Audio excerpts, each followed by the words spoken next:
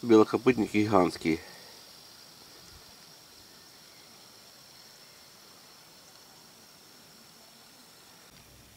Шмель в боксе сам питается кашей.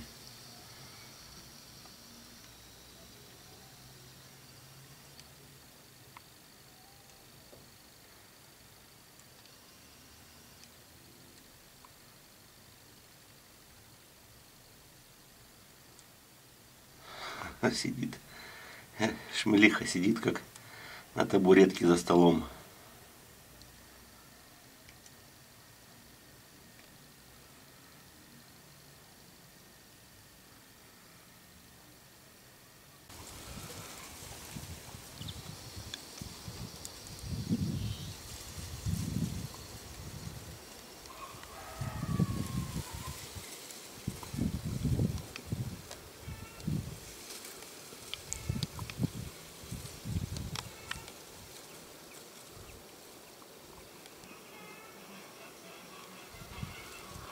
В этом году очень поздний выход осмий.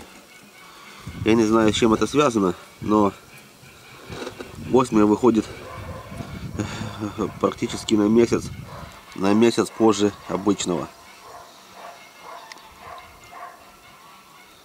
Возможно, сильными морозами. Но я не думаю, что сильные морозы влияют зимой. Зимой осмия не развивается, она лежит уже в коконе, полностью сформированной и ждет весеннего потепления. Я не думаю, что сильные морозы зимние могут влиять на выход осени весной. Самцы уже летают в поисках самок. А самочек еще нет.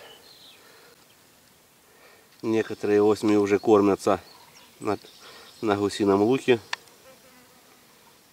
Но это не рыжебрюхые, осьми это осьми поменьше. А вот прилетел самец осьми рыжей.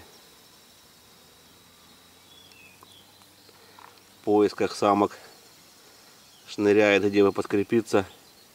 А самки еще не спешат выходить из своих зимних квартир.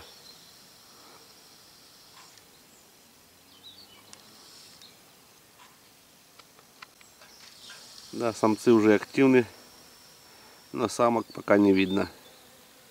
Самки есть, но только других осьмей. Совсем не тех, которых у меня есть куча коконов.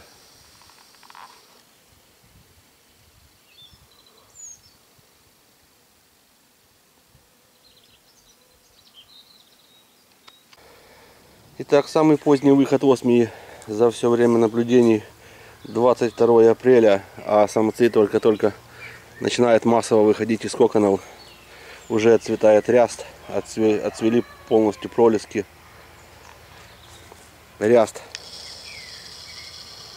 тоже уже остался местами и немного.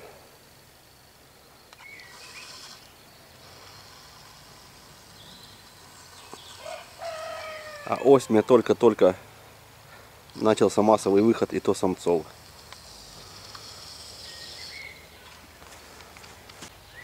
Самцы осьмии везде. Везде они еще в полусонном состоянии. Они в ведрах, на ведрах, под ведрами,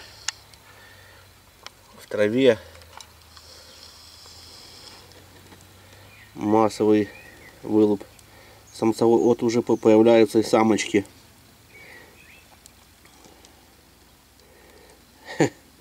Ползут на выход еще не отогревшиеся молодые пчелки.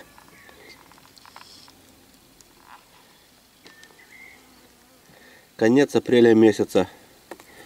Я такого не ожидал. Я постоянно переживал, чтобы они в феврале не начали выходить. Но вот сейчас вот такая коллизия с погодой. Погода не конца апреля, а начало марта. Сегодня, наверное, единственный теплый день за, за неделю. Это та пчелка, которая сидела, была в помещении Здесь уже можно наблюдать и самочек. Та пчела, которая находилась постоянно на улице, здесь, наверное, с темпами выхода еще хуже все. Да, здесь все еще печальнее и медленнее. Осьмия выводится очень не спеша. Как будто чувствует, что еще до весны очень долго, хотя на носу май. Интересный год по всем параметрам. Ну что, будем наблюдать. Всем спасибо за внимание и терпение.